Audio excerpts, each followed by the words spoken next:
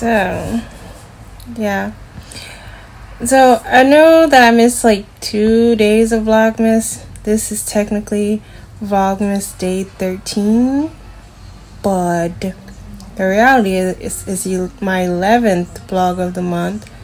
And um, I'm really sorry about that because I really wanted to do everyday vlogs, even though they were pretty shitty vlogs. If I'm honest, they're pretty shitty and short. I think one of them is kind of long with me just rambling. But yeah, I am definitely sorry about that because at this weekend, like I just had a couple of bad days, so I just I just couldn't bring myself to to vlog or even like post my a two minute vlog. I was just in my head so much, and it was just so. But I'm feeling better.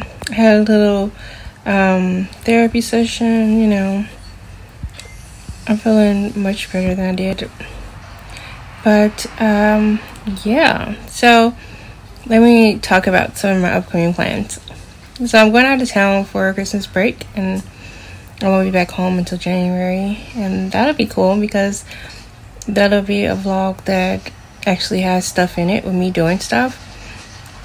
And I decided for the rest of the time that I'm at home, I might as well just vlog the daily mundane things I do because isn't that what a vlog is? And I shouldn't feel like, damn, I don't have shit to post. They're just gonna see me doing the same thing every day. But then again, everybody does the same thing every day.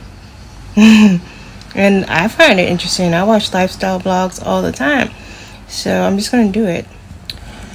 Yeah, and um I have uh, I created a new um, YouTube channel for my business exclusively for astrology. It's called Astro Novice 808, of course.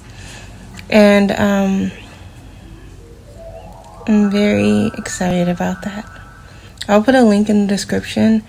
Um, um, so please go subscribe to that. I haven't posted a video yet, but since it's going to be so specific on astrology, it's going to be cool. I think the first one I'm going to do is I'm finally going to finish that President Zodiac series.